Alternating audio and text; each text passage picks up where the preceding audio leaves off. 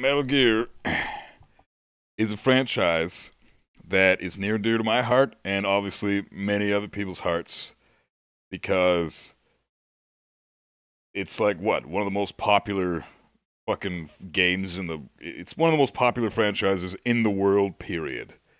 Um it's not my absolute favorite franchise. It's like top 5 easily it's like one of the top 5 one of the only franchises I actually play so I mean obviously I love the shit out of it and I'm taking the time to make this list I'm taking the time to talk about it but I don't have a script I don't fucking uh, do this very often, but I, I I wanted to just have this as like a little fun change of pace compared to the regular streams. But uh, all right, so I'm gonna probably piss off a lot of people with my list. Just saying. Um, Nico even said up here MGS2 hype. Uh, yeah, hell yeah, uh, so much so much hype for that fucking sick game, right? And just four is a movie. It is. A, it's a damn good movie. It's a damn good movie. But you're right, it's a movie. Well, there's 11 games in the franchise. I'm going to include um, even the two games that a lot of people like to leave off their fucking list for some stupid ass reason Metal Gear Rising and Metal Gear Solid Portable Ops. Because regardless of what fucking fans think, those fucking two games are canon. So I have to include those. And I'm going to. And you know what? I even enjoy those games. And you I'm going to be honest with you every single fucking little game on this list is sick. It's just a matter of how sick. Um, and I'm gonna say the Metal Gear franchise ranges from like a level of like just you know good, entertaining, um, to pretty much legendary. Like the quality of number one, two, and three games are well, at least one and two on my list are objectively the greatest games probably ever made. Up there, and like, well, they're at least in the top ten regime of best games ever made. I'm not talking about genres. I'm not including, you know, like uh, uh, um, times they were released uh, or anything like that. I'm talking about just games that have been released since the dawn of video game ages today till till till today, they are objectively some of the best games ever fucking made. So that's pretty much the quality we're working with here. Good to like beyond incredible. So you you know like if even if I'm talking shit, which I'm gonna be doing here because I love talking shit, and I'm gonna be saying some nasty shit about some of these early games in the list because we're going bottom to top.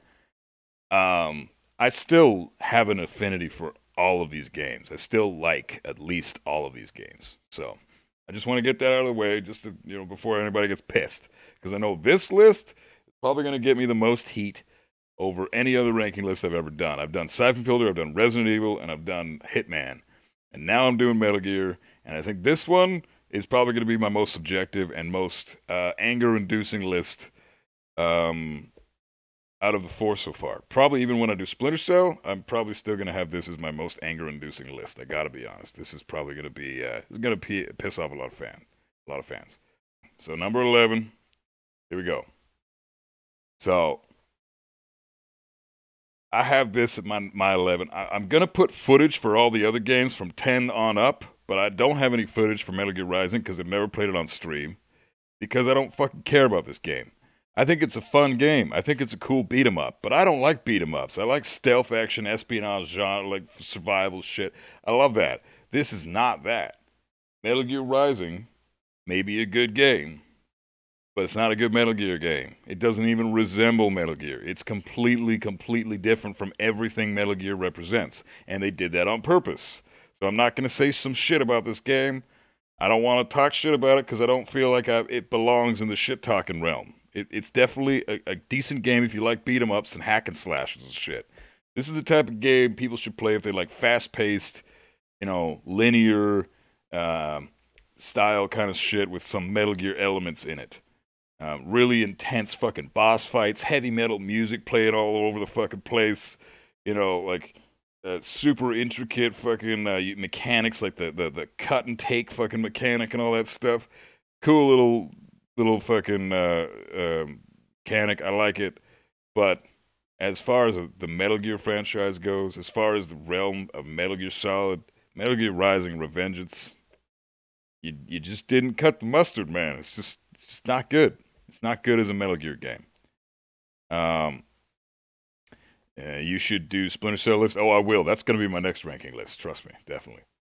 So, you know, like I said, I don't have any footage for this game, so I'm not going to show footage for this game. I'm going to show footage for all the other games, but this particular one, nah, don't have any footage. Don't want to play it. Don't want to stream it. Um, it's it's it's just a good game that you know I don't have any interest in playing. So, and I don't have any anything against this game either.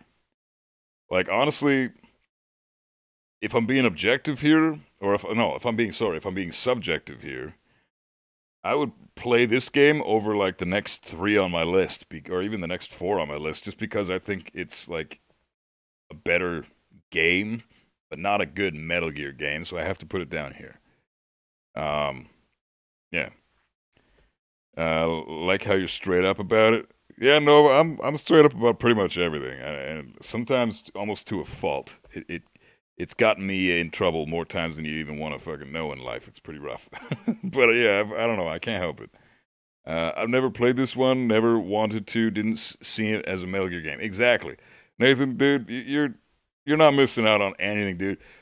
Chronologically, this play this game takes place in 2000 in the year 2018 which um, which is a you know what I'm gonna go over the, the the years and the times that each game comes out and takes place so that we can like um, chronologically put like where each game belongs in the canon.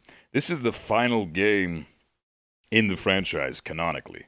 It's the I guess you could say sequel or the follow up to Metal Gear Solid 4, which wrapped it up which wrapped up the story of Metal Gear absolutely perfectly couldn't have fucking done it better myself. They did a brilliant job wrapping up the story with Metal Gear Solid 4. Why they thought this needed to be a continuum of that game, I don't have, I have no idea, but it, really doesn't matter because it doesn't really affect the story at all. There's nothing resembling the Metal Gear storyline in this game whatsoever. It, it, there's no nano like there's nanomachines, and and that's it. That's the only thing resembling anything from from the Metal Gear franchise prior to this game. So, is there any story in this game uh, reveals Raiden's where whereabouts after MGS2? I guess there is a story to this game. It's it's I think it's worth uh, reading up on and checking out. Um, it, it's not as interesting as the Metal Gear franchise, but I don't know.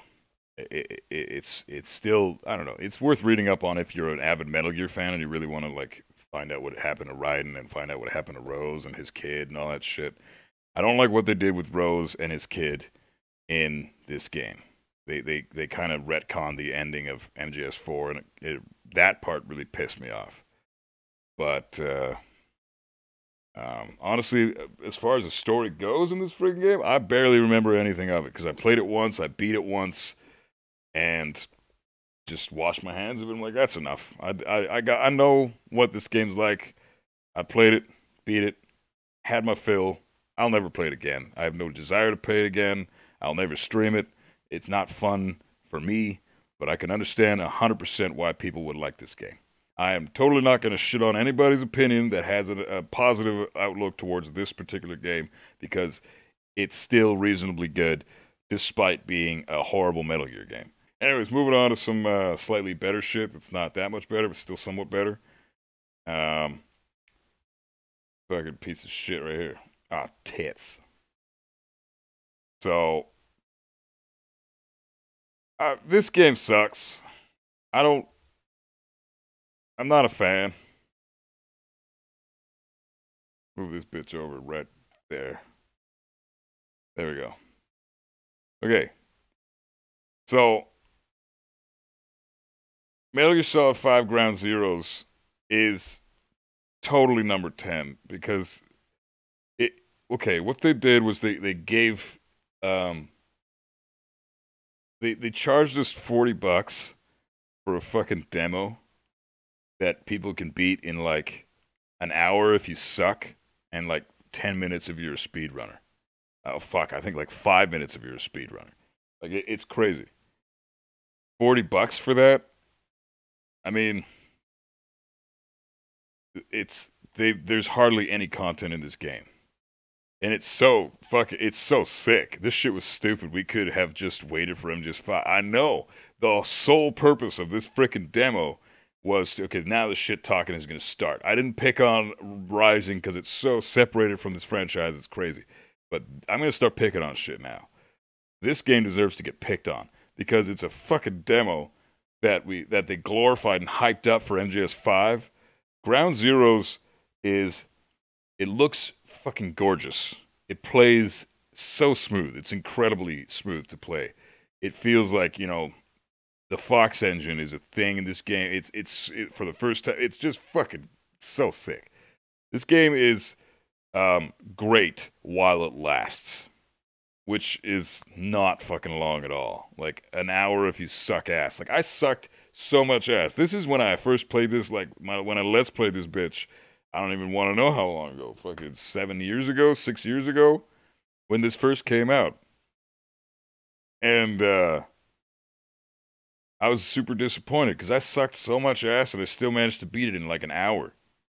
So uh, I was like, man, if this is the way it's gonna fucking go, the the saving grace of this is you play as Big Boss, which is great because he's my favorite Metal Gear character. I love Big Boss. He's uh, he's the best.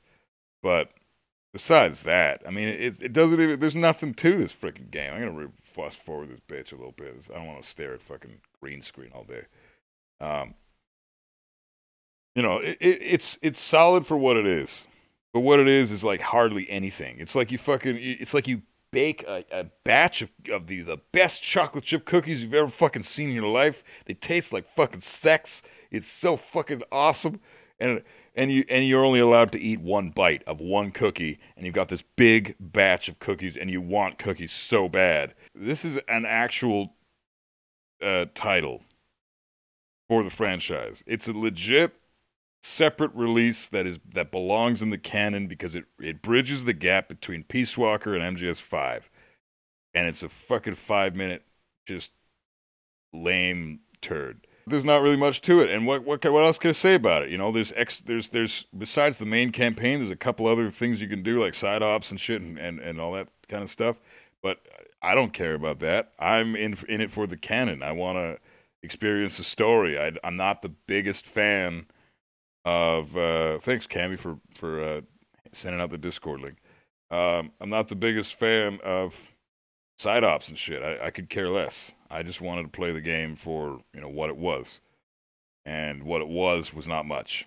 And I felt like I had the biggest set of blue balls when this game was over. Um, Fortunately, I didn't play it until MGS5 was already out, so I could play this and MGS5 back to back. However, I didn't play. I didn't do that. My first time ever playing MGS5 was on stream with you guys not that long ago. So, um, anyways, game's all right, just too fucking short. Number nine. Oh, tits. Got it. Boom. Nailed it. First try. All right. So this game's whatever. You know, it, it's it's not awful. It's so old. It's it's so old. It, it, it's this game came out in 1980 fucking seven, man. Does it even stand a chance against the rest of the franchise? Like, come on, like, like picking on this game's like picking on an 80 year old woman. Like, you, you you you shouldn't. Nobody should ever pick on this game. This game is fucking great for what it is. Okay, I mean, look at this shit. I'm gonna show you some footage of me streaming this this thing. Um, I streamed this a long time ago. I feel asleep. Yeah, dude, for real though, right? you know, like the fucking this game is old. The parachute intro on NES though was super sick. Yeah, it was. It's not in this game unfortunately, but that was cool. But man, this game was uh, something else. it was revolutionary for its time. The story of this is oh fuck, I didn't even mention the fact that Ground Zeroes takes place in two, uh, in uh, 19, uh, 1975. By the way, as the chrono, so the, the story goes continuum of that shit takes place in 1975. Ground Zero is what you just saw, that came out on the PlayStation 4. This game came out on the Nintendo, the original Nintendo in 1987, and the uh, MSX 2 computer in 1987. and it's it takes place in 1995, 20 years after Ground Zeroes. This is the first game we ever get to play as Solid Snake. This is the beginning of the Solid Snake era. So, is it a cool game for that sense? Hell yeah. Is it completely like obscure and like lacking in all the Metal Gear elements that we know of today and that we're used to today? Oh fuck yeah, it is. Um, yo, that's fucking Kyle Reese. Yeah, absolutely. Kyle Reese was the was the inspiration for fucking uh, Metal Gear Solid or uh, Solid Snake. I mean, it's good in in that time and still fun now. I'm sure retro games are the best. This is still a good game. Um, I still enjoy playing this, but if like, Metal Gear 2 is a retro game, I'm calling out everyone that remembers 1987. Anyone? Anyone besides me? I was three years from being born yet, so hell nah. Um, but yeah, this game's three years older than me. This is the only game of the franchise that came out before I before I came out of the womb, not the closet. Just saying. Um, so what I'm saying is, you know, you can't pick on this game. This game is just it is what it is. It's a good game.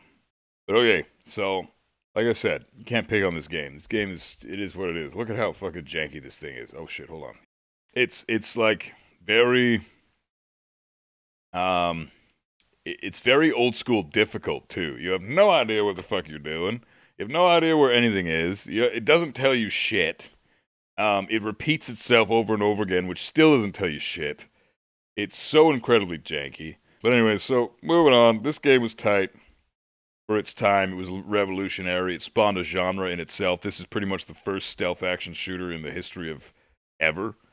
Um, so we have Metal Gear to thank for every game that pretty much I enjoy and, and a lot of games that the chat enjoys and, and, you guys just in general, people just in general. This game spawned all of that. So, you know, big round of applause to Metal Gear 1, the first of its kind to spawn a legacy that was just, it's unsurpassable. Unfucking surpassable. It's incredible. But we'll go, let's go on to number, uh, number eight. Fuck this game.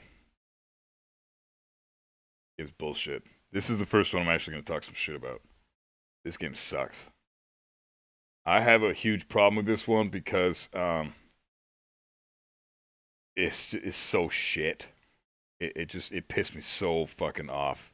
I, I don't like this game. Um, if I'm being completely honest about about Metal Gear fucking Solid 2, I'm trying to find a good spot so we can actually get some footage on this bitch. Whatever, let's watch some cutscenes. Um, the thing about Metal Gear Solid 2, come on, bitch. Go. Oh, there we go. Hell yeah. Sick. Boom.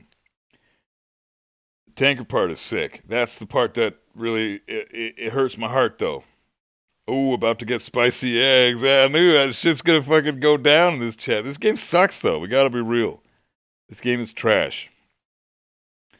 Um, oh, we lo- all love the naked spin wheel. I love watching Raiden's cooch as we do that fucking front front flip thing. It's so sick. But okay, I'm gonna tell you a time of an age when I was 11 years old, um, and I had an allowance. Uh, from well, no, I did have a paper route or I had an allowance. I had one of those, and this game was not out yet, and um, was a game that came out called Zone of the Enders, right? Zone of the Enders was whatever. It's forgotten to time. Nobody cares about that game. It was trash. I played it for like 10 minutes and thought it sucked, so I put it away. But the reason I bought that game and the reason millions of people bought that fucking game is because it had the demo to this fucking game and it even had that as like a marketing ploy on the game's box in front of like everything. Like the, it was like, okay, Zone of the Enders, the Metal Gear Solid 2 demo. Fucking buy our game, please. Buy our shitty game. We have the demo for Metal Gear. Please do it. Please give us money. So the fucking it was it it was a bad game. It relied on the demo of this game. So I played the demo and I was instantly hooked. I love the demo because it was just the tanker section. You played a, uh, the tanker section where you play a Solid Snake on the demo of Zone of the Enders and I thought that was cool. And the tanker section of of Zone of uh, Metal Gear Solid 2 is the best part of this entire game. So I go into that thinking, "Holy shit, this is going to be the best game ever." It's like way better than MGS One. I'm like so fucking pumped. And then the game comes out, and I'm not alone in this. I know there's people that went that experienced the exact same shit that I did, but I, I'm just from my ex- personal experience. This is what happened to me. All right, the game comes out. I buy the game. Everybody's all stoked for the game on day one release. The internet isn't really that big of a thing yet. It's still kind of like up and coming, so there's no like forums or message boards or anything like that. Nothing's really like going that way just yet. So there's no leaks at all. Kojima was a is a god when it comes to not leaking shit before its time. So the game comes out. I pop it in my PS2. I play the tanker section again. I'm still in love. I'm having such a blast. And then, uh, oh man, just all the feelings are coming back. Just depression, dude. I was so upset. So I start fucking getting really excited at the end of the tanker section, and I and I'm I'm I'm into the game, and I'm super stoked. And then all of a sudden, I said, "Now entering Big Shell area," whatever the fuck Raiden says at the beginning. I'm like, "That what the fuck voice is that shit? That's not Solid Snake. Solid Snake doesn't sound like a bitch." Colonel, I've managed to avoid drowning. The fuck is this guy? He's got this skull mask on and shit. He's got these all fucking like in this shit, shitty tight swimming gear. And it's like, what is this? Is like MGS one, eh, the intro to MGS one, but shitty. What happened? What's going on? Roy Campbell's back. That's cool, but who's this bitch? This isn't Snake. And then he takes off his mask. Am I playing as a chick? Am I playing as a chick with an Adam's apple? What? Oh, this guy's name is Snake too. Oh no, his new code name is Raiden. Raiden, yeah, because this guy be riding some dick on his fucking spare time. He looks like he'd be doing it. Oh my god, man, I, I was like, those are the, those are my thoughts at an 11 year old age. I was I was pissed.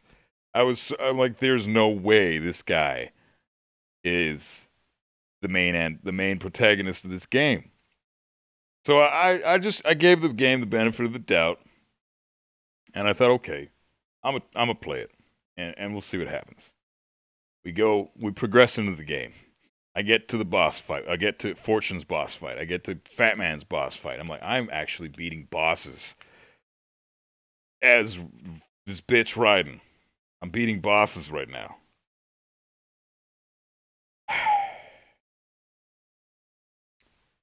Hold on, where are we at? Can I just fast forward this bitch? I don't want to get to the. Ah, fuck it. Right there is good. Um, in his defense, he was badass in four. I will say, yeah, but this this is just we're just we're talking about two right now. Four will come. Four has its time. This right now is about this turd, this curly piece of shit. The president thought he was a prostitute when he found him. He thought he was a chick too. He even grabbed his crotch. He's like, "You're a man? Hmm. Well, that's gross." You know, like fucking. Shimon, dude. Anyway, so you're going through them all. I'm going through the yeah. I'm ranking them all. I'm ranking the all the canon games. This is number eight. Uh, I, I just finished Metal Gear Rising, Metal Gear Solid Five Ground Zeroes, and Metal Gear One, and now we're on the eighth eighth place, which is this piece of shit. And uh, if we're being objective here, I'm gonna send you a fucking olive branch. I'm just, I'll extend you guys an olive branch to say that this is not a bad game but it's as far as the Metal Gear franchise is concerned, this guy, this game can suck my dick. I hate this game. It's a good game that sucks ass. I, that's pretty much my opinion about this piece of shit because it made me so mad. I don't think I've ever been that pissed in the history of me buying video game. Well, no, that's not true. I've been pissed about lots of video games, but this one actually like hurt my heart. 'Cause I was such an avid Metal Gear fan, as were so many millions of fucking people that were fucked over the same way I was. We had no idea that we had a there was a bait and switch waiting for us on the other end when we bought this fucking game. because Kojima was trolling everybody. Fuck, he was trolling everybody from the get go, man. He was trolling everybody. So, and we had no idea until like a week or two after everybody started buying this game and, and word started getting out and shit. And then fucking uh, everybody was talking shit about Kojima for like, I don't know, two or three months. Some people loved that this game. Some people, well, a lot more people hated it. This was definitely the black sheep of the franchise for quite a while. It, it just the the the the, the um the characters. All right, Kev, I'll see you in a sec, bro. Oh, hold up, Nathan Raiden. You used to be such a pussy. Now you're a badass. I mean, he he evolves. His character evolves in MGS4 and MGS Rising and shit. But this shit, he's like full um full bitch mode in this game. He's like 100% of bitch mode. Like, I didn't know that. Colonel didn't tell me that. Oh. Rose, are you there, Rose? Jack, do you know what today is, Jack? No, Rose. Tell me what today is. Oh, it's okay. I'll wait till you remember. It does can't this wait until after the mission, Rose? No, Jack, it's really important. She's just fucking talking about when you fucking met but you're on a mission that's life or death trying to save the president of the United States and stop fucking terrorists from doing some shit. And she's like trying to get on your ass about how fucking what what day you met. Are you kidding me right now? Rose can she can take a fucking hike. Rose sucks. Okay, Rose is trash. I hate rat. I hate Rose. She was so uh, I was so upset when Rose was getting getting in and and and Codec calling us with that shit. That pissed me right off. Pissed everybody off. Nobody likes Rose. Ugh, get out of here, man. And then and then Raiden on top of that, man. But tell us how you really feel. Man, I can't. If I told you how I really feel, I get Twitch banned. I'm not allowed to do that. Legally, I'm not allowed to do that. But Hales, yeah, what's going on, man? how you doing? Anyway, so Jack, you remember 1997? Who gives a fuck about him? Yeah, exactly, right? The commercial for this game was Solid Snake shooting SWAT teams in the kitchen on the boat like a badass. Then, and then this riding bullshit. Hell yeah, man. exactly, dude. Fuck. So, anyways, we beat the tanker section. We get to the plant, and everything just turns to shit. Playing as this blonde, blonde haired little bitch with like obviously hardly any balls because he's got you know the fucking president thought he was a chick. He doesn't have, he doesn't have no bulge down there. He's a he's he's a you know it, it's it, it's the guy looks like a chick, sounds like a chick, acts like a bitch. Not a chick because not all chicks are bitches and not all men are not bitches. So don't get me wrong. Don't don't think I'm saying the wrong thing here. But what I'm saying is this guy is a bitch in this game. Raiden's a bitch in this game. It's not fun to play as him. You miss Snake every step of the way, and uh, the bait and switch is what really pissed me off. All the characters are fucking stupid. Fat Man is ridiculous. Who cares about Fortune? Um, Solidus is like a poor man's Liquid Snake. Ocelot is still awesome. Speak of the devil. He is still fucking awesome, but he's not in the game enough as far as I'm concerned. I wish there was like a boss fight with him. That would have been sick. Um, and Vamp is like this eccentric fucking yeah queen. Like fucking I don't even ah I just he Vamp is all right, but everybody else, nah, fuck that. Roy Campbell isn't even in this game. He's a fucking AI. His voice is in the game, but he's an AI this whole time. It's so dumb. It's, why did they do that? I, I hate that they fucking did that. It really, really made me mad. I, I don't know. What, I don't know. Where's the fucking? There we go. So, anyways, I'm get I, I, I'm getting flustered talking about this piece of shit. I, I don't like this game as far as Metal Gear franchise goes because of how it made me feel when I first bought it. I didn't like the the bait and switch that it did, and I felt like it kind of betrayed the fan base. So I'm always going to have a bit of a problem with this game. And in in terms of like get, general gameplay and getting through it, and the story and just everything, it's not fun. I would much rather play any other game on the list that's above this one before this ever again. This game just I'm gonna say this game sucks. This game just genuinely sucks. I don't know why it's number eight and not the last place, because I think I'd still rather play this than the three before it. Mostly because you know, first of all, with Metal Gear One, like I said, you're picking on an 80 year old MGS Five Ground Zeroes is a demo, and Metal Gear Rising is so far separated from the franchise it doesn't even count as part of the freaking franchise. Most people leave them uh, leave that game off their freaking ranking lists. So really, this is where the bottom of the list should be considered because every game above this is completely Metal Gear, and this is the worst of all of that. So, that's my opinion. If you let the big shell get destroyed, the game would have ended there. Obviously, Ocelot, nice insight. Yeah, I know, right? Yeah. Vamp was pretty sick, but Snake as Pliskin when everybody knew it was Snake. Yeah, I know, right? Iroquois Pliskin? Give me a fuck right off. I'm Pliskin. Iroquois Pliskin. No, I'm not Solid Snake. Stop impersonating Solid Snake, Solidus. Like, come on, dude. Get the fuck out of here. The end of the game is a pretty good mind fuck. The end of the game is a pure mind fuck. And it's so much fucking dialogue. Like, get out of here with these cutscenes, man. What are you. This game is 49% cutscenes and 51% gameplay. It's j- almost as bad as MGS4 when it comes to the cutscenes. Except the only difference is the cutscenes of this game, most of them are trash. Um, I don't. I, I just don't really have any fun playing this game. It sucks. So I'll probably never play it again on stream unless I'm doing like a marathon.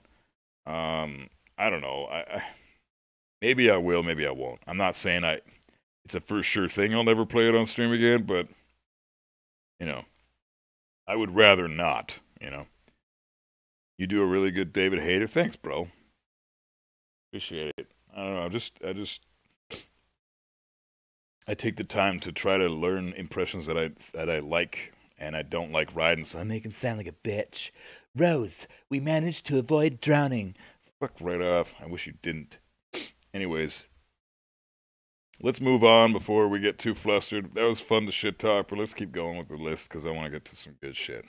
Um, all right. Number seven. Now, I was really, really, really, really um, wanting to put this a little higher on my list. But the competition is just too fucking steep, man.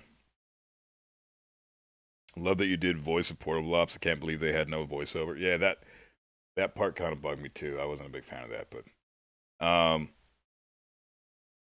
this game is pretty amazing for what it is. This is a PSP exclusive. I had to play this on an emulator to get any kind of reasonable quality out of this shit. Jesus Christ, I feel like the the me in the back is gonna eat the me in the front. This is uh, a little intimidating. I should probably make myself a little bigger.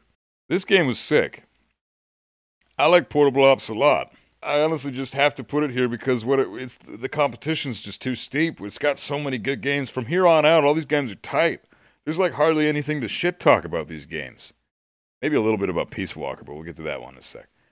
Portable Ops is like this, for example, the dragging bodies to the back of the truck. You know, it's an obvious prototype for what the future holds with the with the Fulton uh, Fulton uh, uh system. Um, the Fulton recovery system was perfect, and they did that for Peace Walker and MGS5.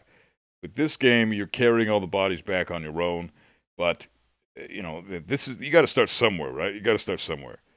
You, you, you got to respect it for that. It's a PSP exclusive, so you can only play it on the PSP, and it's a genuinely canon and solid Metal Gear Solid title. Um, pun intended, because Nico made me aware of it.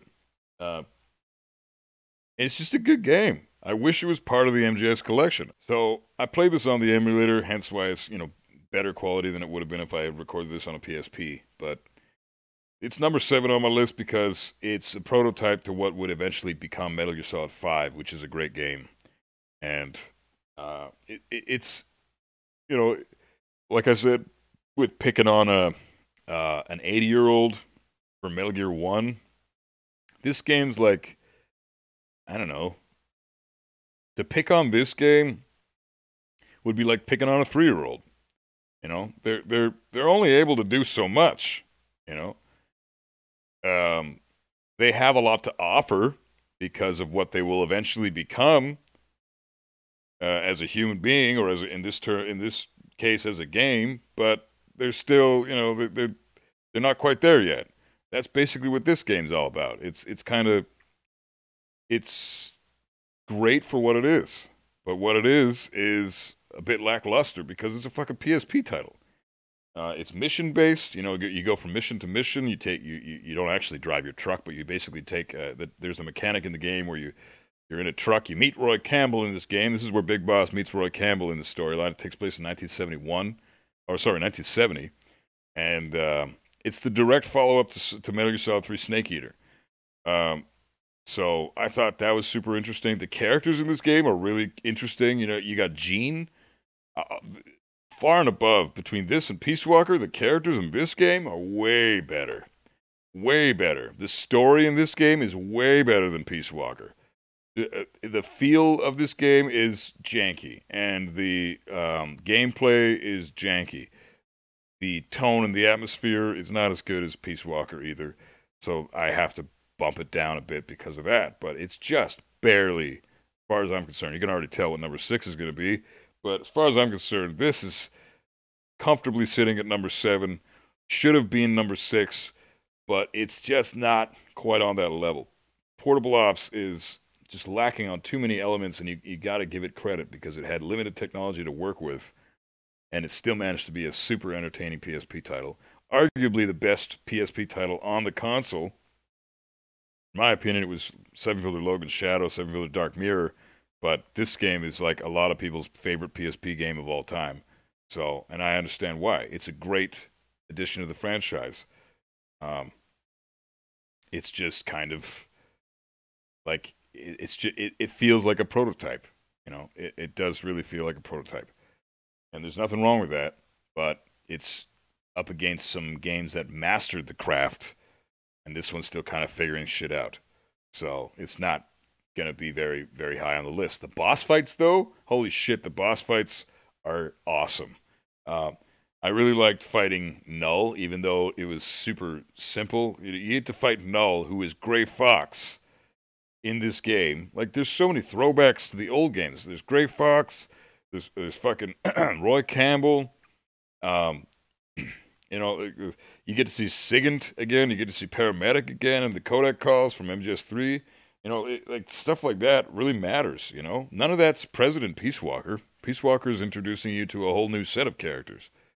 So for that, I have to, like, I have to put this, uh, that aspect above Peace Walker. But as far as the everything else goes, the stuff that actually counts, the meat and potatoes the stuff that people are going to really focus on, the game part of it is not as good because it's just a prototype.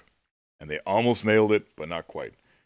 Um, that's really all I got to say about Portable Ops. Good story, good characters, good boss fights. Gene is a very memorable final boss. I really love Gene. I like that they did the whole. Um, he gives Big Boss the end of the philosopher's, or the the other half of the philosopher's legacy. Big Boss takes that and creates an army with it. Uh, goes to uh, Zero with that shit, and then him and Zero part ways in the early 70s after the Les Enfants Terribles project goes through. And um, Big Bo- against Big Boss's will, he gets pissed, he leaves Zero, and then he goes and creates Militaires Sans Frontières. And some of the freaking dudes that you capture in this game follow you under Peace Walker. I love that shit. The whole San Geronimo incident in this game is a memorable uh, piece of the story. And I think they should include this on an HD remaster. They really should, because this is a solid follow up to MGS3. Even if it's kind of bare bones in terms of gameplay, the story is there, and it gives it, it fills every it fills in the gaps where a lot of games, um, uh, where um, a lot of games in other franchises, sequels and that and whatnot, wouldn't aren't necessarily that good at doing that. This game is great at doing that, and it's amazing that it's a fucking PSP title. So huge props to this game. Can't put it any higher than seven, but still really enjoyed it. We'll definitely play this again one day on stream, even. And I, yeah, I think anybody who hasn't played this shit, you guys should totally check it out. Peace Walker uh, is great, but Portable Ops is fucking awesome too, and they're both worth playing 100%. So obviously we're gonna go to number six now, and you guys know it was fucking Peace Walker. Um, ever so slightly better because the gameplay is just seriously sick. Um, the fact that it's on an HD remaster is great. I love that aspect of it. Um, you know, it, it's just it's so fucking cool because you can even co-op in this shit on the HD remaster. Like, and, well, and on the PSP as well. But like, it, it originally came out for the PSP, which is why a lot of people compare it to Portable Ops because you know stuff because for that reason alone. You know, PSP title. So, and there's they're the only two PSP titles in the whole franchise. This is a great game. Um, the problem I have with this game is that there is uh, no human interaction in terms of uh, gameplay and boss fights when it comes to like characters. All the boss fights are AIs. They're all like machines, AIs. Like so, there's no real memorable, significant characters that really give you a whole lot to focus on in terms of uh, from a narrative perspective. Uh, Hot Coldman is a completely forgettable dude. What's the other guy's name? I don't even remember the other guy's name. Um, what's his fucking name? Uh, the dude at the very end with the with the with the fake hand. What the fuck's his name? There's Doctor Strangelove, who's Hal Emmerich's mother, which I think is great. They introduced us to uh, Doctor Strangelove and Huey Emmerich, which is uh, Hal Emmerich's uh, Otacon's parents. I think that's a great aspect for this game. You get to kind of explore the back the back uh, story of, of Solid Snake and of Otacon in this game, which is kind of cool. They close up the boss's story in this game 100% by the end. Um, it, it's it's it's a welcome addition. I like that it kind of bridges the gap a little more between MGS3 and MGS5, but at the same time, I think Portable Ops did it better personally, uh, story wise. But gameplay wise, I mean, look at this shit. There's I'm I'm playing with who am I playing with right now? Oh, I'm playing with uh, Pandutney at the moment. Uh, I did a lot of co-op with Big Red in this. Did co-op with Artours in this on stream. This is just a solid co-op experience. Co-op games are always super fucking fun. Um, you know, because they're just it's it's team team operated. Teams team stuff is always fucking a blast. So the, but the problem is like look at all this shit. I'm we're, we're shooting AI things here, and yeah, there's dudes in the in the game. There's the Fulton recovery system that's definitely better than the uh, the dragging people uh, with with your own strength to the frickin' uh, to the truck all that way. In this in this game, you have the Fulton recovery system. You go up to the body, you press triangle, boom, they're already part of your recruits now. Now these guys work for you. It's freaking great. Um, that's a great addition to the gameplay. Uh, the gameplay overall in this game is definitely, definitely better than Portable Ops. I don't think anybody can even dispute that. Like, this is a great fucking game when it comes to the gameplay. The story, man. Oh, shit. Like, 1974 is when this game takes place, exactly 10 years after MGS3. Um, and holy shit, do they just, like, force it down your throat that this is the uh, sequel to MGS3, not Portable Ops. They even mention at the beginning of the of this game, Kaz even says to Big Boss on the intercom, he's like, "Yeah, well, fuck, finally we can put that incident, the the San Geronimo incident, behind us." Like, it doesn't even want to acknowledge that Portable Ops even fucking happened because it just doesn't care about that shit. Because Kojima didn't direct it; he just wrote it, or co-wrote it, or produced. No, he produced it. So, um, his involvement for it with or with it wasn't as drastic as it was for this game, which is why they included this game in the HD collection and not Portable Ops, um, despite both games being canon entries. Uh, so that kind of that kind of upset me a little bit, but uh, I, I know I was praising number seven a second ago, and I have this at number six, and I'm kind of talking a little bit of shit, but Peace Walker just kind of um, kind of like makes me really happy in some aspects and then really grinds my gears in other aspects. Whereas Portable Ops is like very like flat all around. Peace Walker was like a an, this type of experience. You know what I mean? So it's like up, it has its major ups and downs. When the ups are up, it's super super up. But when it's down, holy fuck, it's down. Like it, it it's almost like MGS two level down. It, it's disappointing in that aspect. I only got like quarter of the way through the game before I stopped playing it. Wish I kept playing. I think you should keep uh, try try playing this one again because this is a good game. It's worth definitely, really any game from number seven up. I recommend to absolutely everybody. I think these games are fucking great. Like uh, from number seven up, we're in the good, we're in the great game territory. Like these games are becoming phenomenal. Um, so Peace Walker, another phenomenal game. The co-op aspect is phenomenal. Uh, the gameplay is phenomenal. The recruitment uh, thing is phenomenal. Building mother base is phenomenal. The whole story and the you know like that's where it loses me. The, the story aspect, and you have to dock a lot of points for that because what is Metal Gear all about? We play the frickin' franchise for the story. Peace Walker feels like a full fledged PS3 game that came from a PSP game. Um, it's like a, a, completely updated version of Portable Ops, but like I said, the story, the characters, the the uh, the eh, just everything about the non-gameplay aspects way worse than Portable Ops. But the gameplay is so good, I had to put it above Portable Ops because the gameplay is, is just perfect. You can even do co-op with, with friends. So um, that's what and that's how I played this when we were streaming it. So yeah, really uh, honestly though, Peace Walker's great. I definitely play it again. Um, I beat it on stream. I even built Zeke, and then we fought Zeke as a team and kicked the shit out of it, and then uh, that was it. And then we got the real ending, and then I moved on to MGS5, and that was that. But just a great game. Peace Walker's a great game. Really wish they did the story better. Really wish they did the characters better. We could have used some human boss fights. That would have been nice instead of fighting nothing but AIs the whole time. That sucked. But uh, besides that, Peace Walker's a good game. I, I recommend it to everybody. Building Mother Base. Really great idea. They, they like completely advanced on what Portable Ops started. They took that formula and expanded upon it uh, and made everything so much more updated and, and fresh and feel like you were accomplishing something when you built Mother Base instead of like it kind of felt like a chore almost in Portable Ops, whereas in this game it's like you're looking forward to doing it, you know. But anyways, yeah, this is a good game. I recommend everybody play it. You know, don't be discouraged by the shitty story. Just you know, it, it is it's a decent gap filler I think Portable Ops definitely bridged the gap between MGS3 and MGS5 better, like I said. But this game fills in that little, that last little bit. Um, it it at least kind of explains why uh, Big Boss left Zero and started Militaires Sans Frontières after the San Geronimo uh, incident. Okay, moving on to number five. There you go. Metal Gear 2 Solid Snake. See that there? This game's fucking incredible.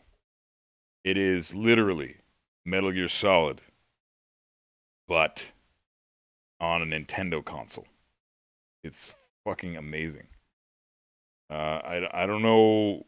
Like, this is literally where Metal Gear began, dude. This is the beginning of Metal Gear as far as I'm concerned. They, they took the formula that this game started and improved upon it and, and gave us Metal Gear Solid 1. And that's why this game will always be legendary. I wish it was more talked about than uh, it is. This is Metal Gear Solid, but on the Nintendo. Like it's it's a Metal Gear Solid. It's the original Metal Gear Solid, but it was before that game came out. By eight years before that game came out. Crazy. Just crazy to think. This game came out in 1990. This game is as old as I am. And it is fucking awesome. Um, anybody who's never played this game, you're doing yourself a disservice because this game is fucking sick. It, it, if you played Metal Gear Solid 1 and you've never played Metal Gear 1 or Metal Gear 2 Solid Snake, um, you play this game and you feel like, holy shit. Um, like, this is Metal Gear Solid, except like everything about the game, like the, the whole uh, following a, a um, a like you follow a green beret person in this game, just like you did with Meryl in the for in Metal Gear Solid. You know, uh, the ending boss fight with D is very reminiscent of fucking um, Rex from Metal Gear Solid. Your conflict with Gray Fox in this game is reminiscent of your conflict with Liquid Snake. Um, Big Boss is in this game as the final boss. It's fucking cool, man. Like there, there's so many really interesting things about this game. Uh, that that just like every single aspect, you can pick it out and be like, I recognize that, I recognize that, I recognize that. There's so many things from MGS One in this game. It's like they basically remade this game and it out as MGS One. It's a great fucking game. Um, I can't like talk about amazing retro games. This is one of the coolest retro games I've ever played in my life. I, I love retro games. I love games like this old. This is the like the Nintendo console was the first console I ever played. First console I ever owned as a child. And I mean this game has that has Nintendo graphics, but it only came out on the M- MSX2. But uh everything about this game is just really cool, man. I, I love the they, they they have Codec conversations in this game. Roy Campbell's in this game.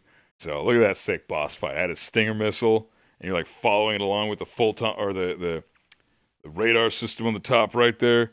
You know, like it's so innovative, man. It's fucking innovative as hell. Love this shit. This game's objectively better than Peace Walker, I find, because it's like Metal Gear Solid One, but in this fucking, but in, but in with these types of graphics. You know, look at this shit. They even have Codec conversations. There are cutscenes. The what game has this type of stuff in in 19 fucking 90? You know, before the Super Nintendo even came out. You know, like unbelievable, dude. He's a genius when he made an NES game that's two five with PS4 games. Um, oh yeah, top five with PS4 games. Yeah, exactly, man. Oh, hundred percent. Like this game is the beginning. Uh, well, I mean, you could argue that Metal Gear One is the beginning of his genius, but I think his genius, uh, Kojima's genius, truly comes out in this game for the first time. Metal Gear comes out uh, for the MSX, and uh, it's a huge success because it's a stealth game. There aren't any stealth games out yet because it's 1987 and all that shit. Everybody loves that shit. So Nintendo ports it over to the Nintendo console. They changed the game entirely it's a completely different version of the game. There, Metal Gear isn't even in the Nintendo version of Metal Gear. It's fucking weird. Um, you fight a big ass computer at the end of the game, and that's it. It's actually terrible. The game's really bad compared to the original Metal Gear. Um, so Nintendo made a sequel against Kojima's. Like Kojima didn't have anything to do with it, and that sequel's called Metal Gear Snake's Revenge, or just Snake's Revenge and it's also a big steaming pile of shit. Game's not very fun. It's it, it it's nothing like actual Metal Gear. It, it's trash. So what ended up happening was um, somebody told Kojima on a bus that hey, there's going to be a sequel coming out to your game that you made. It's called Snake's Revenge. And he's like, what the fuck? Snake's Revenge. Oh shit. Well, uh, I'm gonna make a sequel, and it's gonna be way the fuck better than that piece of shit. And then he literally did that. Snake's Revenge sucks, and this game is like legendarily good. It is so. They literally took everything that this game was, put it over to the PS1, and that became MGS1. This is the original Metal Gear Solid, as far as I'm concerned. Um, the reason it's lower than Metal Gear Solid and a few other games on this list is because it's a fucking Nintendo game. Like, it's got such huge competition, man. So I don't care though. The story, the characters, fucking voice acting by me. I'm just kidding. It's not that great. Uh, the story, the characters, the fucking gameplay, just everything about it. The the game is not as cryptic as Metal Gear One. It's it, the, the lack of crypticness, if that's even a fucking word, isn't a thing anymore. Its game is just it hit it hits every nail on the fucking head as far as success goes. This is a phenomenal game. I recommend everybody play this shit. Metal Gear 2 is something special, for real. Something special. Um, it's a 30 year old, 31 year old game soon. And it is one of the greatest games still ever made to this day because Metal Gear 2 is phenomenal. Snake's Revenge trash didn't even make the list. An intro, blinking screen, and trash. Well, I mean, fucking Snake's Revenge isn't really canon. I'm only including the canon lists. So only canon games appear on this list. This game is canon. This game is, uh, takes place in 1999, but it came out in 1990. So we're Solid Snake is like four or five years in his, into his career at this point. So he's a, a, pretty weathered, bit of a veteran person now. He's he's five years in or something like that. I think he started in '94 or '95. He infiltrated Outer Heaven in, in Metal Gear One, and then in '99 now he's infiltrating Zanzibar Land, and he's already a legend in this game. Metal Gear Two deserves the number five spot. I wish I could. I wish I could put it higher, but it's honestly the next four lists or four games on the list are legendarily good. Okay, from number four on, these games are all legendary. We're gonna move on to number four now. But I do. Oh, I want to say one more, a couple things. The Metal Gear D fight is pretty cool for a 1990 game, and I love the the fist fight at the end with um, Gray Fox. So fucking sick. And the eh, the story impact, the impact that that fight has from this game on the story as a whole, where Solid Snake and Gray Fox duke it out, the impact that that fight has on the story is insane. Like it's pretty amazing. Um, so, uh, and then obviously the lighter versus Big Boss, so fucking cool. The light you use a lighter and a can of hairspray, that's fucking awesome. Um, just a super incredibly innovative game. Everybody deserves to fucking like experience this fucking wonderful game. This game is amazing. All right, we're gonna move on. Number four. From here on up, these games are legendary, and there's really no debate about that. They're just fucking amazing. So here we go. Number four is this game is a fucking amazing movie. It's a wonderful movie. Uh, I love everything about this freaking awesome movie. Nothing bad about it, really. Uh, it's just that it's a huge, it's a movie, dude. Like there is so much plot in this game that's not really even a freaking game, dude. It's a fucking movie. But it's it's one of the best movies you ever watch in your fucking life. This this movie's sick. Some snake ass for you right there. That's that's uh, perfect. You know, is the order the order of the game release? Nah, totally isn't. But um, I mean, this game came out in 2008. The other, my number five pick came out in 1990. So you know, like that's a fucking. I became an adult between the time of MG2 coming out and MGS4 coming out. I literally became an adult. I was born and then I became an adult, and that's the time gap. So it's pretty fucking massive. But um, yeah, MGS4. Uh, what can I say? If it weren't for the fact that this is 49% gameplay and 51% cutscenes um, this would probably be my number three. But when I play a game, I want to play a game. I don't want to watch a movie. Despite the fact that, granted, these cutscenes, most of them are really cool. They add a lot to the plot. This game ends the franchise on a perfect note.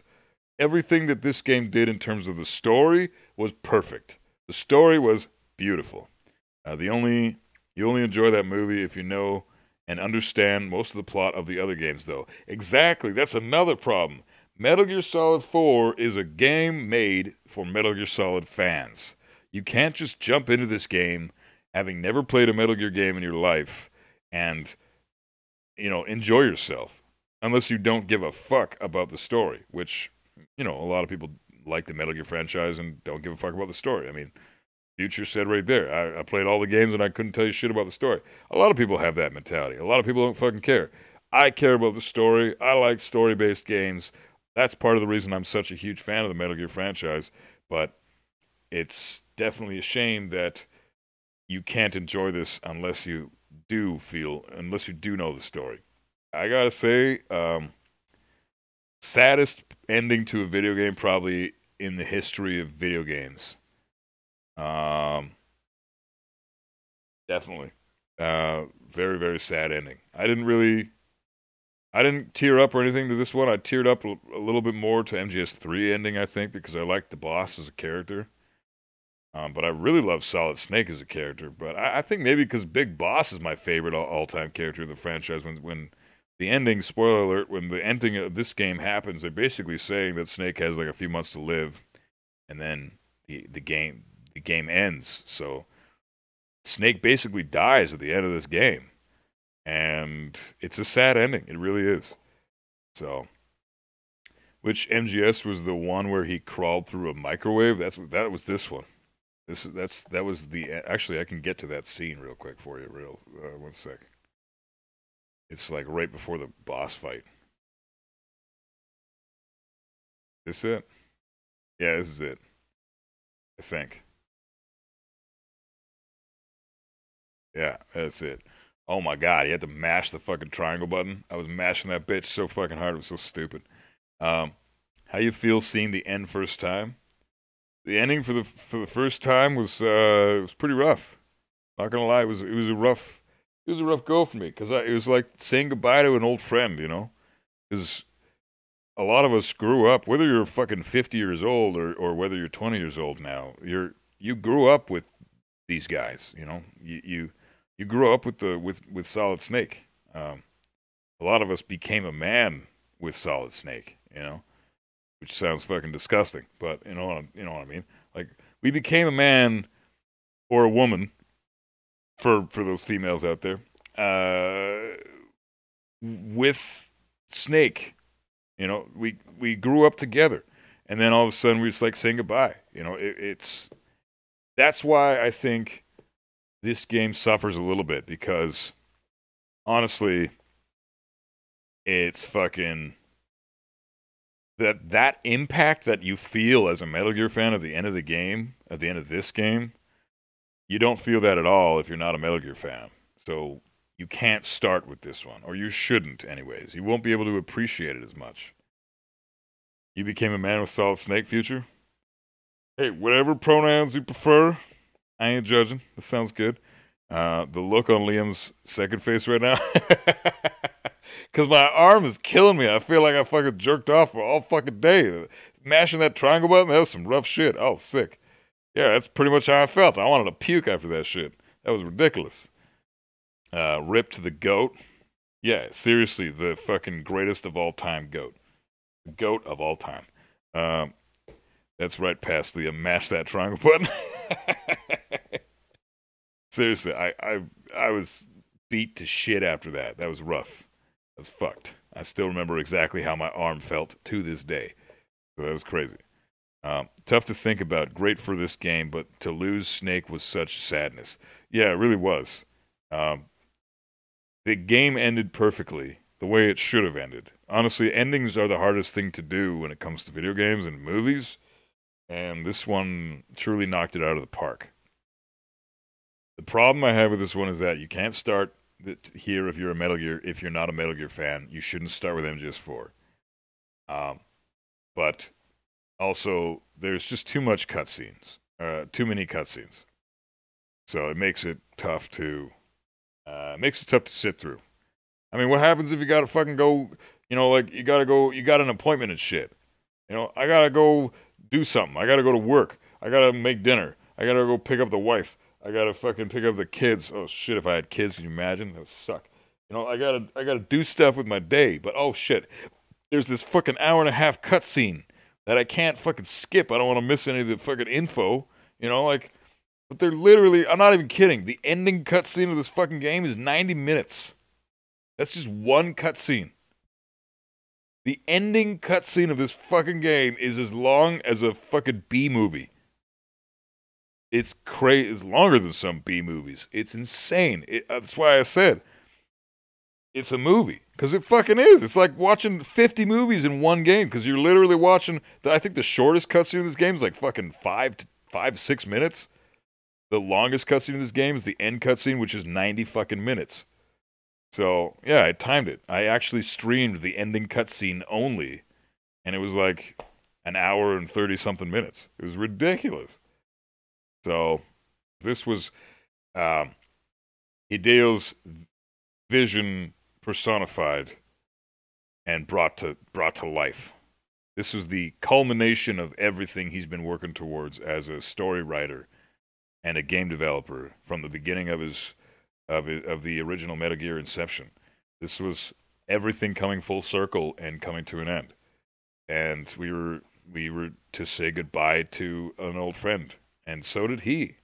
You know, it must have been probably pretty rough for him to write this game because it's a very sad game at the end.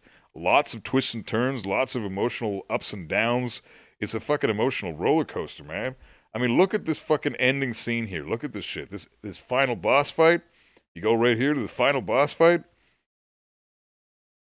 This is, I mean, technically it's Ocelot versus Solid Snake because it it's not actually liquid he's he's just under mind influence, thinking he's Liquid Snake, but he's it's still Ocelot in charge of his own body, but uh, he truly believes he's he's Liquid Snake.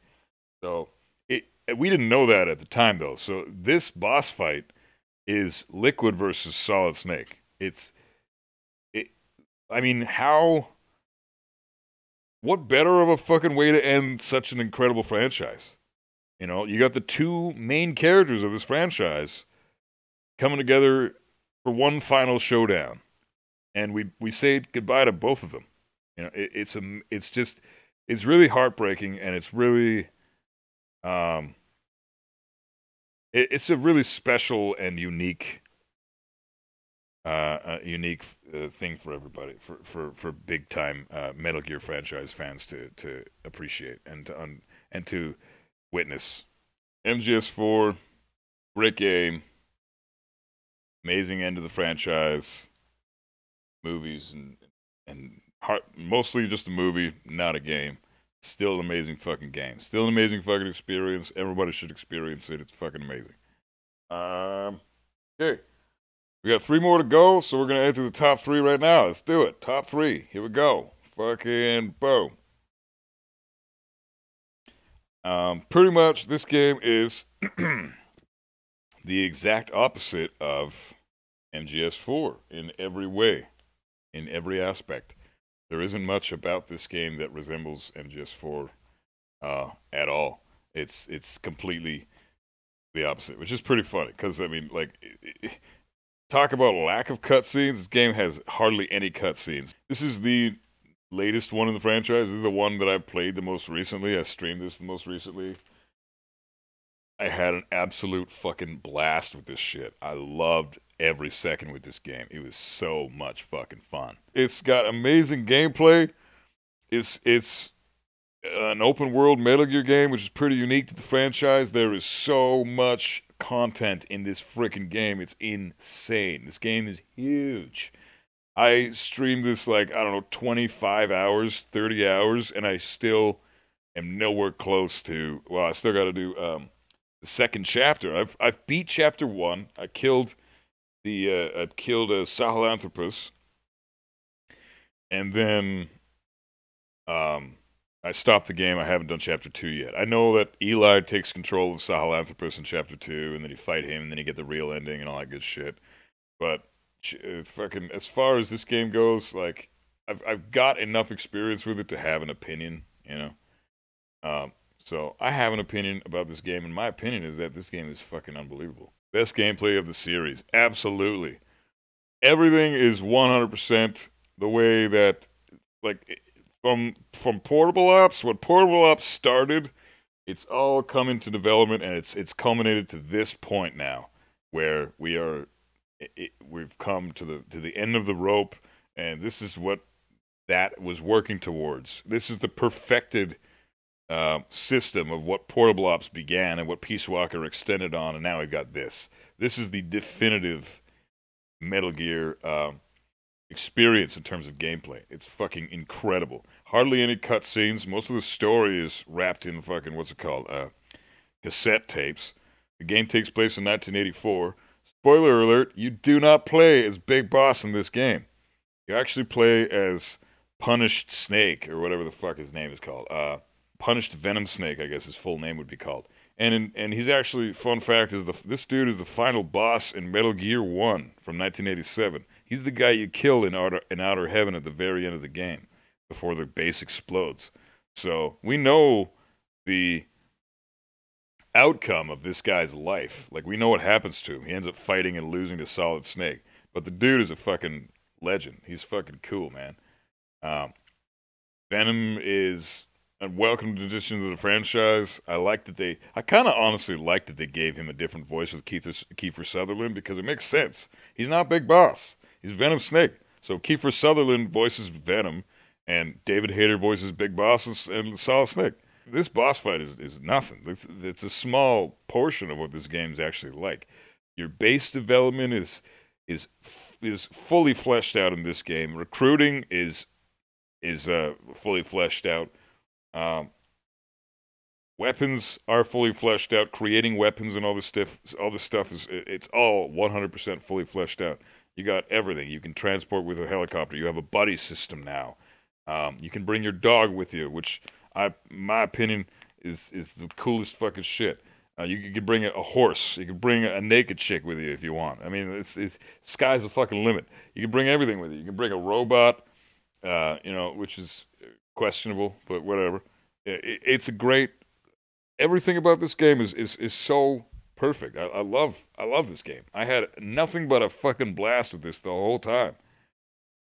Um, every single time I stopped this game on stream and went went and I left the stream and then I'd come back the next day, I was always so excited to put the stream back on and play this game. Like it, you know, you, it's it's a great feeling when you're just you're looking forward. You just finished a five six hour stream, and you're already looking forward to the next one. You're too tired to keep going, but you want to keep going. It's like this game did that for me. Like I, I I'd never played it before, which definitely helped, but um, I felt like I was playing like I felt like I did when I started playing Hitman 3 or or or, or to the Omega Strain online. Like I'm already looking forward to the next stream because this one was such a fucking blast because this game is so fucking sick. The chat interaction, everybody you guys all love this game. Like everybody's like has a, a special affinity for it in their in their hearts. Like it's only a, a 6-year-old game at this point, but it, it feels like it it feels brand new it, it's a really welcomed addition to the franchise. I love the open world, expansive environments. The boss fights are super, uh, you know, nothing crazy about them, but they're still there. Uh, you have the skulls, you have Eli, you've got Quiet, you've got fucking uh, Sahelanthropus, as you just saw, you got fucking uh, a couple other ones. Uh, don't remember all of them specifically, but I know that they're they're all pretty cool the skulls you fight like eight times in a row, or, or five or six times, or something like that. I don't know, but they're they're repeat boss fights. But if the gameplay of MGS5 and all the things story of MGS4 were combined, you would probably have the ultimate masterpiece. It would it, it would be the best Metal Gear game of all time, no question about it. Gameplay of this game combined with the story elements of MGS4, it would be the greatest experience of any Metal Gear player, 100%, no question about it. Um, where it, it's funny how MGS4 and MGS5 are so contrasted because you got MGS4, which is mostly a movie with very little gameplay, and then you got MGS5, which is mostly gameplay with very little movie and very little cutscenes. So they're polar opposites, and uh, it's a, it's kind of a cool contrast. I like it, but the reason I put this over MGS4 is because what do I what do, what do I do, and what do ever, what does everybody do when you want to play a game? You want you want gameplay. You want to actually go in and play the fucking video game. Yeah, story is story is great, and Metal Gear is the best for story. But I, it, I don't want to sit through a half hour fucking cutscene every time I get through a fucking mission or get through half a fucking mission or you know what I mean? Like it gets a little tedious. So with this one, you're just going all the time. You're going nonstop, you know, and it, it's just a really great experience from a gameplay pers- pers- perspective. Uh, I'm pissed here, but even though you can see I'm pissed because I just got my ass kicked for like the 30th time versus the final Skulls fight, I still am having an absolute blast. I loved every second of this game. I was pissed and I still had so much fun. So, I mean, God, there's just so many fucking cool things about this game. The things you can do, like the recruitment system, the fucking the buddy system, um, the stealth system, the, the chopper system. You can fucking fly in a chopper and shoot the fucking uh, the, the, gun from the chopper and kill everybody in the area. You can go in stealth. Uh, you can uh, um, all the old school elements like the cardboard box are re- retained in this game. It's super fucking um, immersive. You know, it, it's a really cool style of game. And I love that they brought back the animal system from Metal Gear Solid 3. Um, not to the same extent, you don't eat the animals anymore, but you know, plants and animals, you can like build a zoo at Mother Base and fucking have animals there. I caught a fucking bear. One of the side ops in this game was catching a bear and bringing him back to Mother Base. That is so fucking cool, man. It's super cool and unique.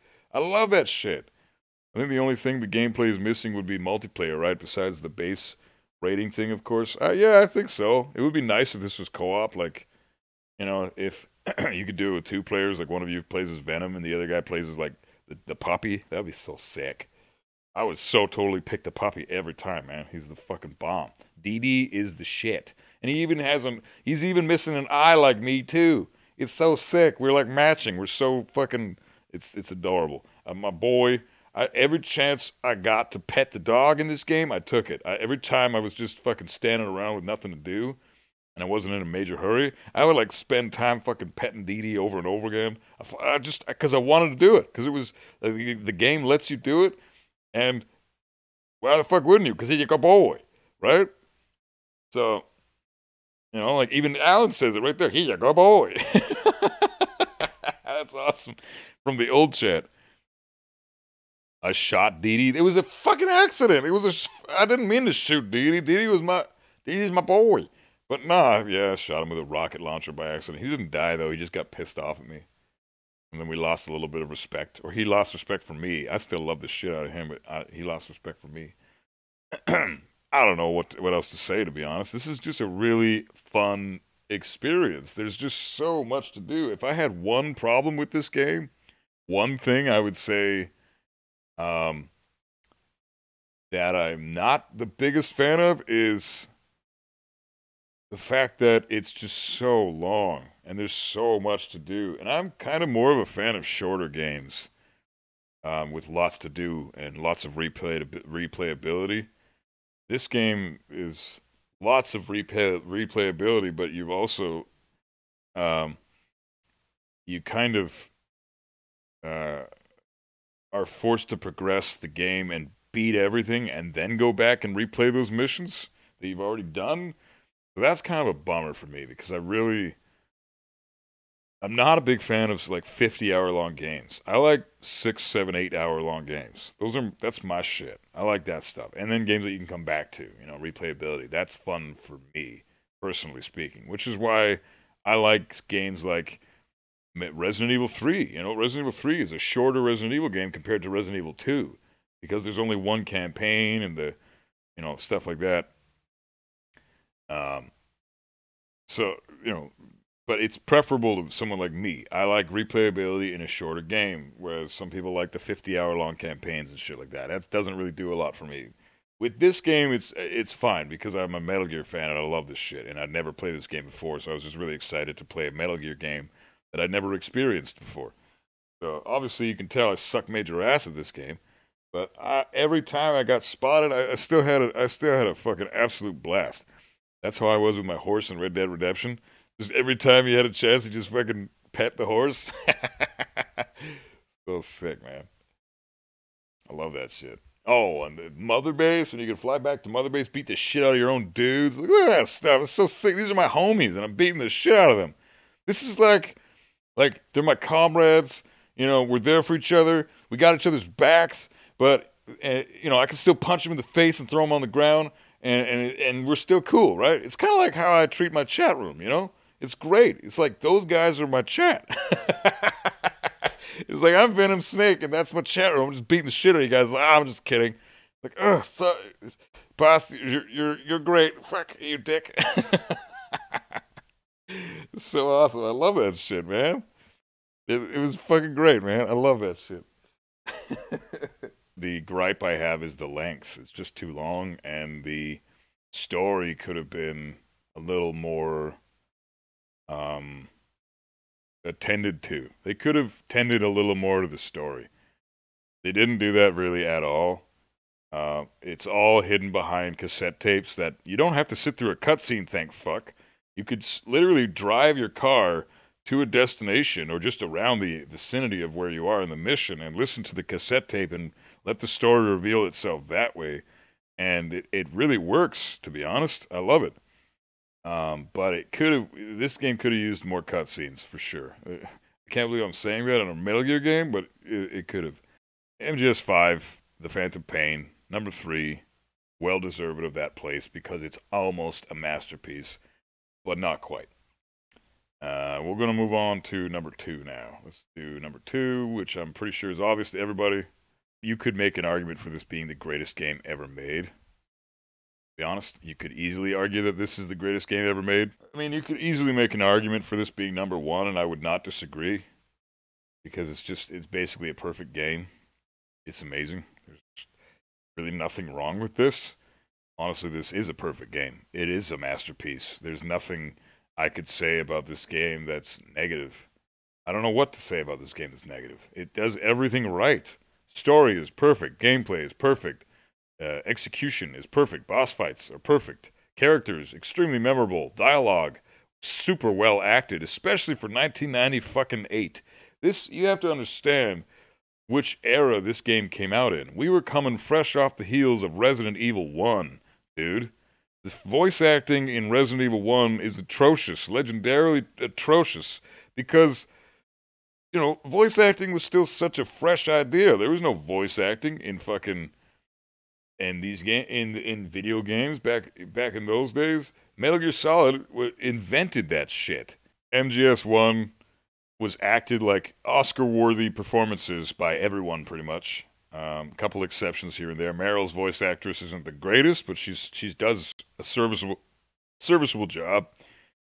Otacon's a little cheesy at times, but David Hayter knocks it out of the park as Snake. Liquid Snake's voice actor, I don't remember the fucking name of him right now, is unbelievable. Uh, I really love that British accent he brings to it. Uh, everything about this game is just there's nothing nothing bad about it, man. It's it's fucking phenomenal.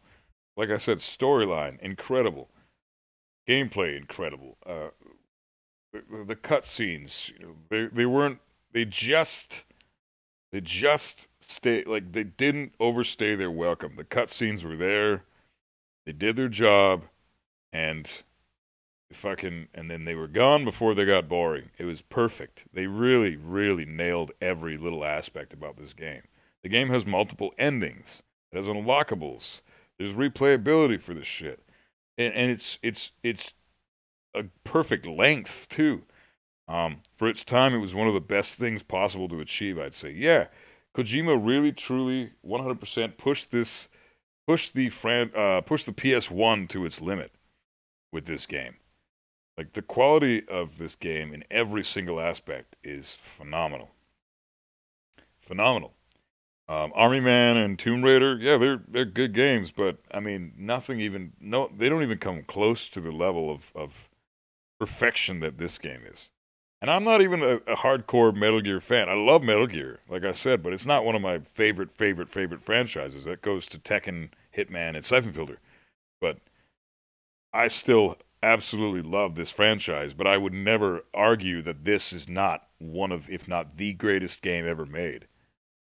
Uh, like, I'm not even speaking out of opinion right now, just objectively, as a matter of fact, this may be the single greatest game ever made.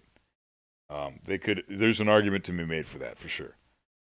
Uh, it's it's just phenomenal from start to finish, start to fucking finish. Like the second you you drop into the, the bottom of the base where you're where you're coming up with the elevator, and then there's that fucking, you know, there's so many quotable lines. The surveillance camera, like fuck, dude, just right off the bat, you know, like it's it's, it's so fucking unforgettable, brother. You know, shit like this. All that shit came from this fucking game, dude. All that shit, all the all the memorable stuff that we love and know about this franchise, you know, Metal Metal Gear. That came from this fucking game. You know, oh my god, dude. It's so fuck it's just perfect. This is just watching this old footage from my stream like a year and a bit ago now. Uh, whose footsteps are these? Yeah. Whose footprints are these? Yeah, holy shit, dude. Oh my god, just everything, man. It was it It was so it was perfect. The fucking snake, snake, snake at the end of the fucking game over screen. Like that came from this game, and they kept it every. This is everything started here. What I said before about Metal Gear Two, how Metal Gear Two is basically this game, but uh, with older style graphics. It, it basically became Metal Gear Solid. Well, that's probably why this game is so perfect because that was like that game was a perfect blueprint and a perfect prototype to what they would eventually create with this game in 1998. And God, if the Shadow Moses environment isn't the isn't the coolest environment in gaming history, it's like Alaska. Everything's covered in snow. You're in this fucking uh, industrial facility with with warheads all over the fucking place. You're surrounded by these mercenaries. You can't be seen by these fucking people. You know, you got to deal with these crazy superpower having douchebags like Vulcan Raven and fucking uh, uh, Revolver Ocelot and and you know all these cool memorable memorable characters originated in this game. Ocelot originated in this game. You know, oh god, Psycho Mantis is easily one of the greatest boss fights in the history of video games. You can credit so many people's awe moments, like the, a moment of awe, to the Psycho Mantis boss fight. Just the cutscene before the boss fight happens, not even counting the boss fight, which is also legendary. Psycho Mantis's cutscene, how many people have quoted that shit over and over again? You know, like he fucking reads your memory card. He makes your controller move with his fucking mind, quote unquote, by making the vibration shit shake it. Uh, you know, like he, he, he, he could tell you how many times you've saved in the game or, or not. Like it's unbelievable, man. Like that, that was so incredibly innovative. And then when you go to fight him, you, you get your ass kicked repeatedly over and over and over again you know, and then you realize, oh, you got to plug the controller into the second port. Like, what the fuck? Who comes up with this shit, man? Kojima's a fucking genius, dude. At least for this game, he was, and the next one, which you probably already know what that one is. But uh, um, I was so confused when I was told MGS knew that I play that I was playing Suikoden. Oh yeah, dude, and like Castlevania and shit. Oh my god, so you like to play Castlevania? Holy tits, man. I lost my shit. 98. Oh my God. I lost my shit, dude. Oh, and there's the liquid reveal. Master Miller's dead the whole time. Crazy shit, dude. Unbelievably fucking innovative and interesting and unique. And just everything about this game is just phenomenal. It's flawless. Oh, um, you know, uh, what was what was another thing? The how do you contact Meryl in the game? Oh, it's on the back of the CD case. Back of the CD case, you have this disc on you in the game, and you think it's like something to do with that disc, and then you actually like you you're running around looking for this fucking codec code, only to find out that they have a screenshot of it literally on the back of the fucking actual game CD case. What the fuck, dude? just all that crazy shit is so fucking amazing. Like, who thinks of shit like that? Oh, I forgot what the code. Oh, it's on the back of the CD case, dude. Like the literal CD case, like to call Meryl. It's on the back of the. Oh my god, I lost my shit. I lost my shit when I first figured that out. That was a nice, a nice way of of copy, uh, copy protection too. Yeah, of the um, yeah. That way, you you if you didn't have access to a computer, obviously nobody did in '98, but uh, or hardly anybody did, anyways. I had a fucking AIM machines in like 2002, but that was the earliest I ever had a computer. Um, in '98, hardly anybody had computers, hardly anybody had internet, and so, but pirating was still, you know, up and coming at that point. and pirating was. Uh, you know, Kojima knew that was going to be a problem. So he he he basically gave himself and his company some insurance by making it so you could not advance in the game unless you had internet, which wasn't a thing back then, or if you had the actual fucking game. It, unbelievable. You know, same yeah, Spyro 3 cool copyright protection as well. That that game didn't allow you to fly if you were using a, a, a pirated port of that game. You weren't allowed to fly in that game. Stuff like that. But you physically could not progress in the fucking game unless you own a physical copy of the game with the with the picture in the back. Like it, it's so incredible. So you were just stuck. You're just like, oh, you have a copyrighted thing. Well, there you go. You're done after fucking 20 minutes, dude. It's like a dick. No, that was unbelievable. They really fucking he really knocked it out of the fucking park with that. Metal Gear Solid One is not my favorite in the franchise, obviously, by a by a fraction of a hair. Like I, I have nothing but love for this game. I always will have nothing but love for this game. I think it's incredible. I think it's one of the best games ever made. Um, it, there, you could argue that it's one of that it is the best game ever made, and nobody would dispute you. I wouldn't dispute you.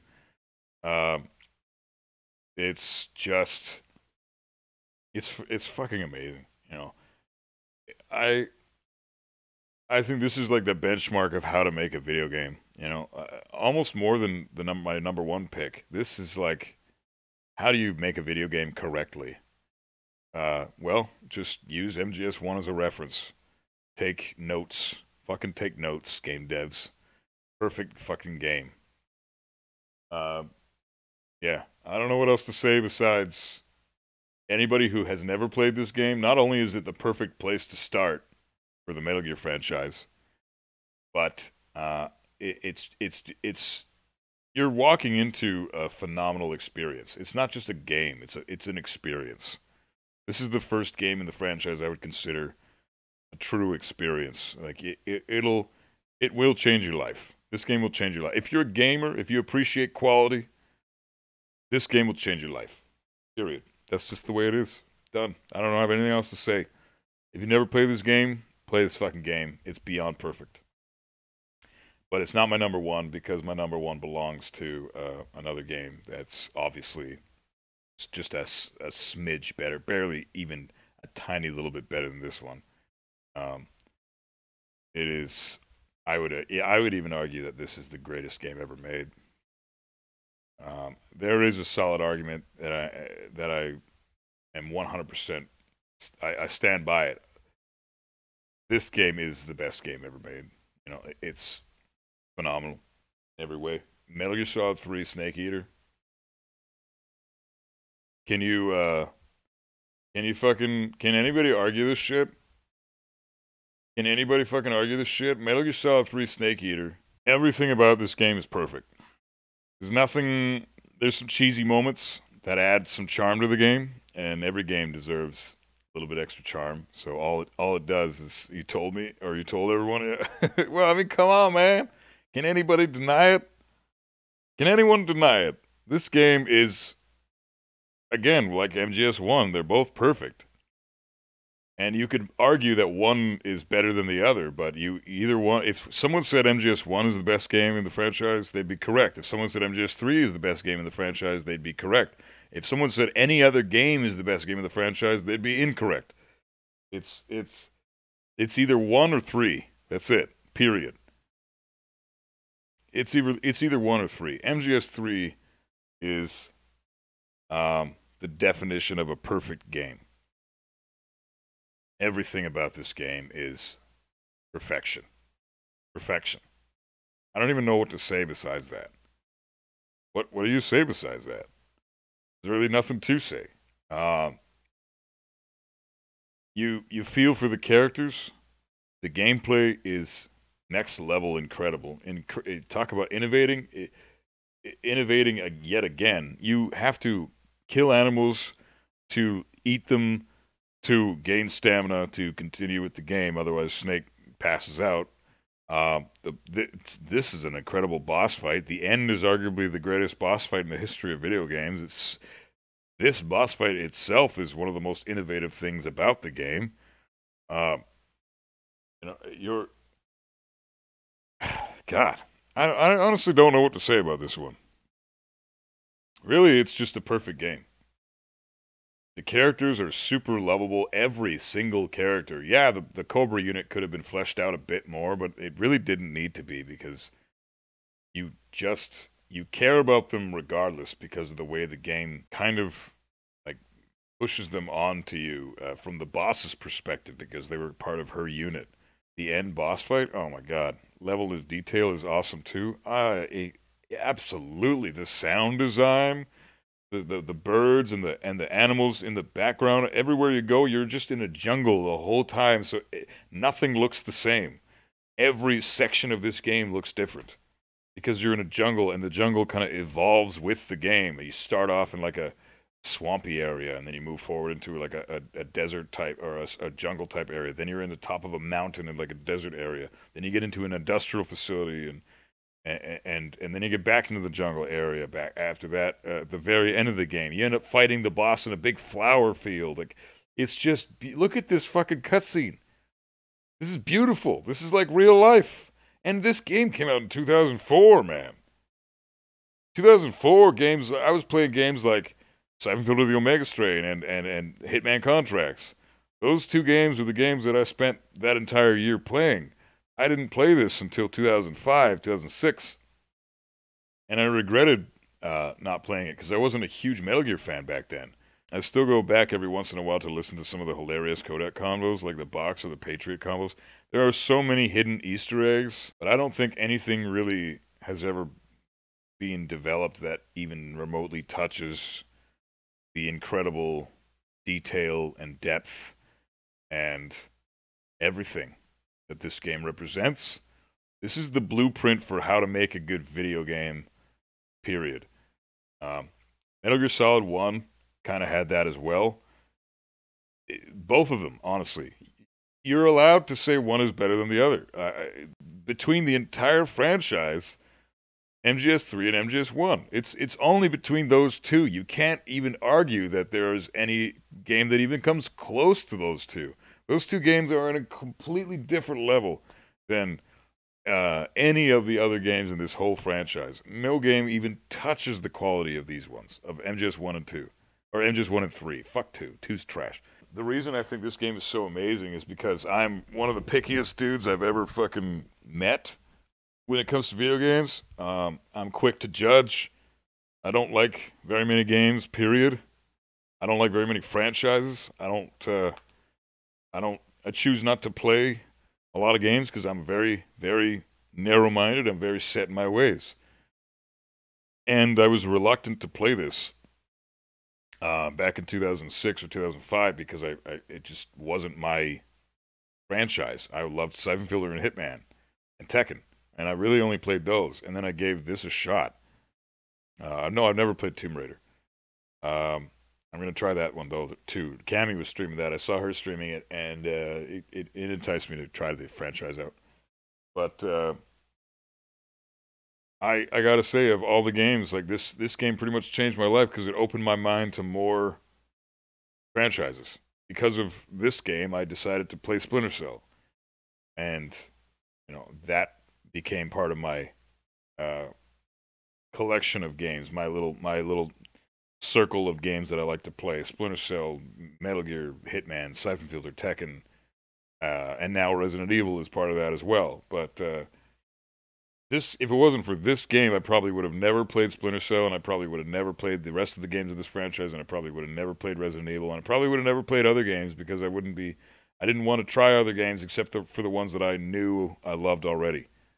So, this game completely opened my eyes the fact that there are masterpieces out there that I've never even tried, and there's a whole other world of, of games out there. But no matter what, no matter how many masterpieces are out there, no matter how many people uh, are, uh, uh, um, how many masterpieces are out there, no matter how many how many people love you know whatever games or whatever titles, you you will never be able to discredit the fact that Metal Gear Solid Three is objectively easily one of the top five best games ever made on paper and in reality, just period. Metal Gear Solid 3 is is has got to be on everybody's top five list. It has to be. If you don't have room for Metal Gear Solid 3 on your top five best games of all times list, you need to make room for it because there is no way you should leave this game off that list. It's perfect. It's it's a perfect game, and that's coming from one of the pickiest motherfuckers you've ever talked to when it comes to video games. And I think it's perfect. And it's not even my franchise. Metal Gear is absolutely not my franchise. But there's nothing negative about this game. So, except for like fucking idiot AIs, obviously. This is the best game ever made, in my in my opinion. And MGS One is up there with this as well. And that's really all I got to say. I think MGS3 is just phenomenal in every way. Just the things you can explore, um, the hidden conversations in the in the codec conversations, then Easter eggs all over the place, Easter eggs and cutscenes with holding the R1 button and shit like that. You can, you know, uh, you can unlock really cool mechanics like infinite ammo with the Chinese uh, or the Japanese writing on on Snake's face, and the fucking uh, stealth camouflage prototype. You can unlock that ship. Yeah, I don't know. That's all I really had to say about this franchise. that was my ranking list. Really appreciate you guys hanging out for this. That was a lot of fun doing this. Um, definitely only my opinion. Uh, hopefully it offended a few people so we can start some fucking cool dialogues. Because I love debates. And if you're offended and you're pissed off uh, and you hate me now, even better. Good shit. I'm uh, I'm happy. Thanks again so much for hanging out.